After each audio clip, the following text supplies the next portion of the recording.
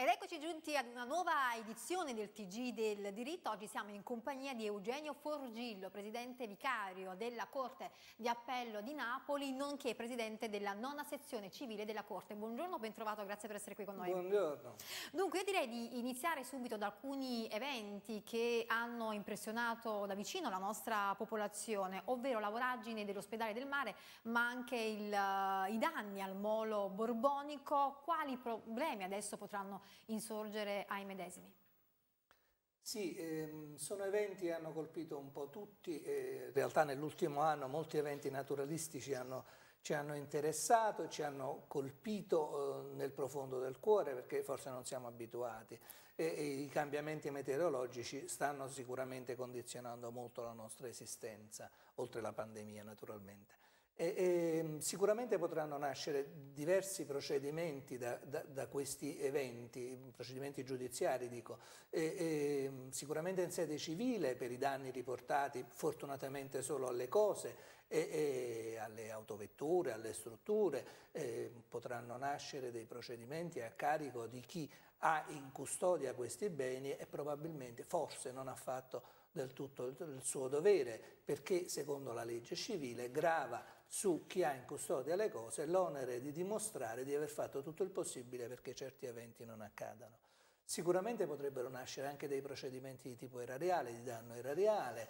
a carico di quegli amministratori che si dovesse accertare non abbiano oh, fatto tutto quanto loro, eh, eh, nella loro possibilità per evitare che eh, le amministrazioni dovessero eh, sborsare eh, dei soldi per risarcire i, i danni riportati a, a, ai danneggiati. Sicuramente anche in sede penale potrebbero sorgere dei procedimenti in danno di amministratori che abbiano consentito di, di realizzare le opere senza controllare la loro buona qualità, senza, abbiano omesso di verificare eh, lo stato, eh, di collaudare correttamente eh, le stesse o piuttosto dovessero risultare ipoteticamente collusi con chi ha realizzato queste opere con materiali scadenti o senza un'adeguata verifica dello stato dei luoghi.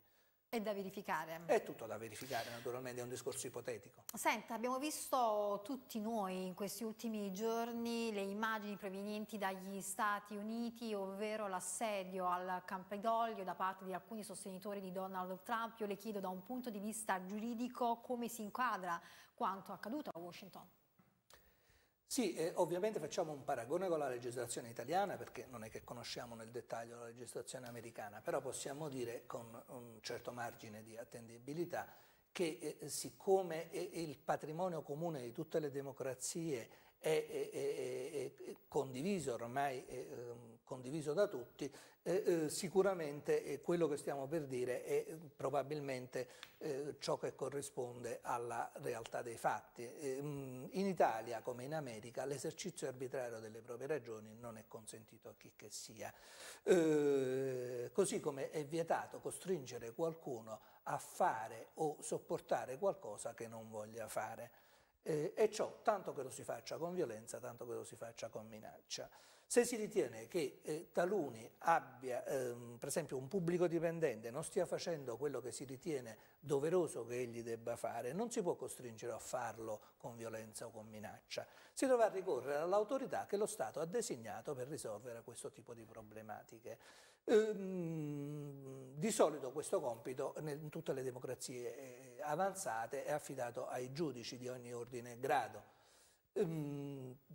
così in America il presunto torto subito per effetto delle, eh, delle elezioni dovrà essere fatto valere nelle, eh, presso le autorità che lo Stato americano ha preposto per controllare l'attendibilità e l'esattezza dei risultati elettorali eh, e le forme di dissenso che si possano avere sul punto non possono mai sfociare nell'incitazione a manifestare senza autorizzazioni o a prendere d'assalto sedi istituzionali o addirittura a depredarla. Mi permette di entrare nel merito, se l'assalto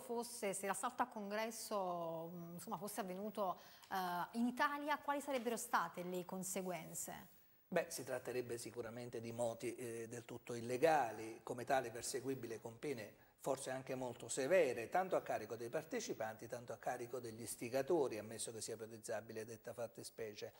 Ehm, in Italia, nell'ottica della folla in tumulto, ricordo come ogni forma di manifestazione di piazza debba essere sempre previamente autorizzata, peraltro indicandosi preventivamente i, i, i luoghi e le modalità di, di riunione. Ehm, ricordo ancora come mai possa essere eh, autorizzata una manifestazione che comprenda eh, l'occupazione arbitraria di edifici pubblici piuttosto che il saccheggiamento o altre forme di manifestazione di pensiero così eh, incisive come quelle che abbiamo visto in televisione. Il, il danneggiamento di cose pubbliche, tra l'altro, o esposte al pubblico costituisce reato e la violenza fisica o morale esercitata contro pubblici dipendenti è altrettanto punita severamente.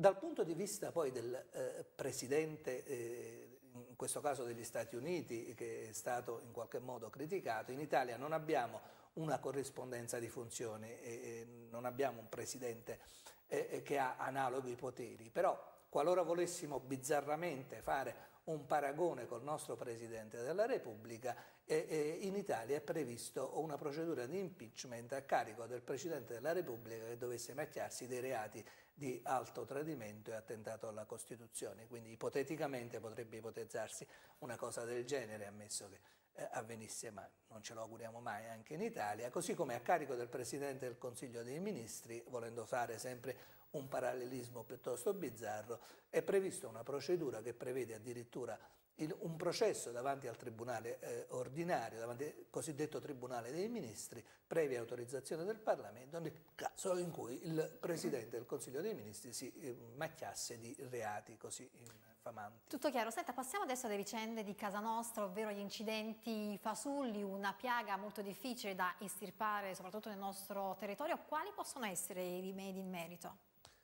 Sì, mm, ve ne parlo di un, di un, caso che mi è capitato di recente di trattare perché mi ha colpito molto. È una piaga piuttosto diffusa, le statistiche giudiziarie sono ancora costellate di tanti eh, episodi che eh, diciamo in qualche modo lasciano l'amaro in bocca, specialmente nelle nostre zone. Eh, eh, anche se devo dire il fenomeno è un po' in via di attenuazione. Di recente mi è capitato di trovarmi davanti ad un caso in cui una vettura, una potente vettura Porsche, eh, eh era stata coinvolta in un incidente, tra l'altro cittadino, quindi come tale di solito di modesta entità, ma nel quale si lamentavano dei danni per oltre 35 mila euro per effetto di un, tanto, un tamponamento. La compagnia assicurativa eh, eh, attraverso le, le, proprie indagini ha dimostrato che questa vettura era stata coinvolta due mesi prima di questo incidente cittadino in un altro incidente in, in Toscana eh, eh nel quale aveva riportato dei danni molto simili a quelli eh, eh, adesso denunziati in sede giudiziaria e, e, e, singolarmente, dopo due mesi dopo, si, si, si lamentava un danno analogo.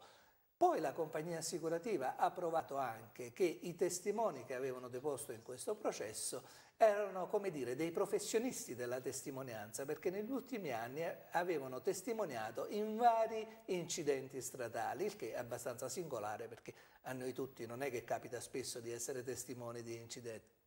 stradali. E, eh, per l'effetto e per l'effetto di alcune incongruenze che abbiamo poi noi giudici del collegio della nona civile riscontrato nel caso trattato, abbiamo rigettato la domanda di questo concessionario che lamentava questi danni così gravi e, abbiamo, mh, mm, e noi possiamo poi trarne la conseguenza come cittadini piuttosto che come giudici che se le difese sono accurate, se eh, eh, avvalendosi di questi strumenti nuovi, la consultazione di queste banche dati, si riesce eh, in qualche modo a difendere eh, eh, gli interessi di parte abbastanza bene, evitiamo anche che i prezzi dei, dei, dei, dei costi delle polizze assicurative possano lievitare troppo e gli stessi cittadini onesti debbano pagarne poi le conseguenze. Senta, in pillole, in conclusione, il costo della difesa nei processi civili, la possibilità di recupero integrale di quelle sostenute dal soccombente è una questione mai risolta? Sì, mai risolta perché effettivamente i costi adesso, le spese legali sono eh, piuttosto remunerative per i difensori, però spesso il cittadino si trova a sostenere delle spese molto elevate eh, ehm, per, anche per il carico delle spese legali, perché gli avvocati giustamente devono essere pagati e spesso non hanno la possibilità di recuperare le spese dal soccombente. Ci sono diverse iniziative anche in campo legislativo per evitare che il cittadino possa trovarsi, detto in pillole, con il cerino in mano, nel senso di sopportare tante spese e poi non rimanere compensato. Grazie ad Eugenio Forgillo, Presidente vicario della Corte di Appelli di Napoli, Presidente della sezione civile della Corte per essere stato con noi pubblicità.